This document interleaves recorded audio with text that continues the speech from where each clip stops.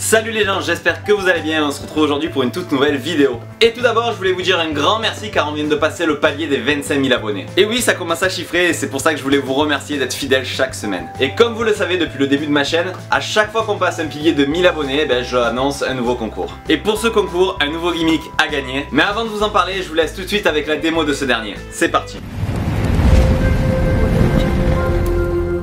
Allez, on se retrouve pour la démo et pour ce tour un jeu de cartes de 52 cartes différentes dans lequel le spectateur choisira une carte librement, bien entendu s'il veut mélanger les cartes c'est possible également. Et ensuite il choisit la carte qu'il veut, par exemple ici le 7 de trèfle.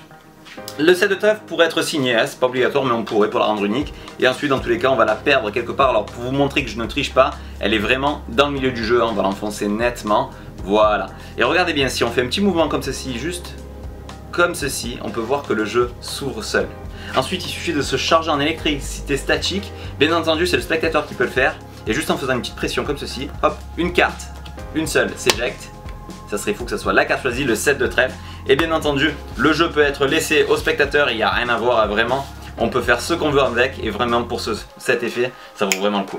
Et voilà j'espère que cette petite démo vous aura plu et aujourd'hui j'ai tenté de vous faire gagner le gimmick Choc. Alors pourquoi Choc? Pourquoi je vais vous parler de ce gimmick? Tout simplement car c'est un gimmick qui est très pratique et qui ne vous gênera pas. Vous êtes sans doute comme moi, vous aimez travailler en fait sans être trop chargé, sans avoir plusieurs paquets de cartes sur soi, être assez léger et avoir des effets à réaliser à tout moment. Et du moment que vous utilisez un jeu de cartes pour réaliser vos tours préférés, Choc peut s'intégrer dans le jeu sans vous gêner. Et c'est ça qui est génial avec ce gimmick. Le gimmick une fois placé dans le jeu en fait il vous gênera plus, vous allez pouvoir réaliser vos manipulations, vos mélanges préférés, vos routines préférées, franchement, il ne gênera pas. Et quand vous le désirez, à tout moment, vous allez pouvoir réaliser la routine de choc. Cette routine que vous avez vue dans la démo, donc une carte choisie, perdue dans le jeu, le jeu s'ouvre tout seul et ensuite la carte est éjectée.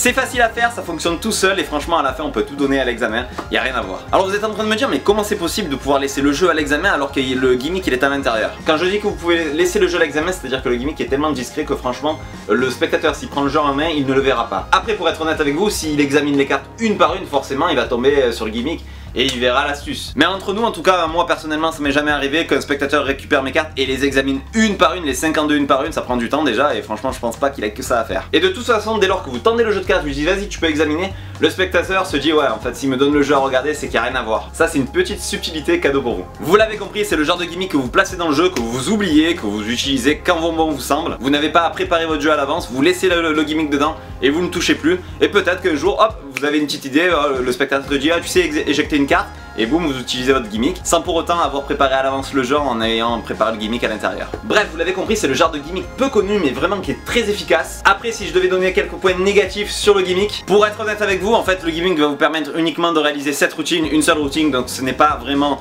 euh, un outil comme on pourrait le voir avec d'autres gimmicks, mais plus un gimmick de secours ou tout simplement un tour de secours que vous pouvez faire quand bon vous semble. Après, comme je vous l'ai dit tout à l'heure, ça reste très bon parce que c'est très discret, vous le laissez dans le jeu, vous êtes prêt à tout moment. C'est très facile à faire, hein, franchement ça marche tout seul, il suffit de perdre la carte dans le jeu, c'est vraiment clean, on n'a pas de mouvement suspect, le jeu s'ouvre, le spectateur peut même taper sur le jeu pour que la carte s'éjecte, franchement, quoi de plus pur.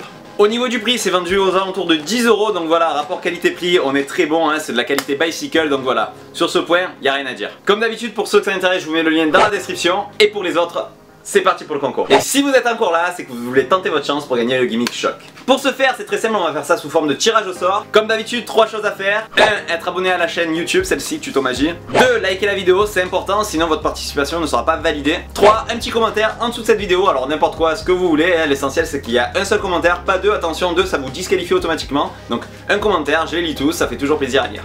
Le tirage au sort se fera dans la prochaine vidéo et je annoncerai le gagnant directement dans la vidéo. Et voilà, cette vidéo est maintenant terminée, j'espère au moins qu'elle vous aura plu. En tout cas, n'hésitez pas à me dire ce que vous en pensez dans les commentaires. En ce moment, il fait vraiment très chaud, c'est très difficile de faire des vidéos sur YouTube. Donc je vous remercie d'autant plus d'être fidèle et de les regarder chaque semaine. Et en tout cas, moi je vous dis à la semaine prochaine pour une prochaine vidéo. Ciao tout le monde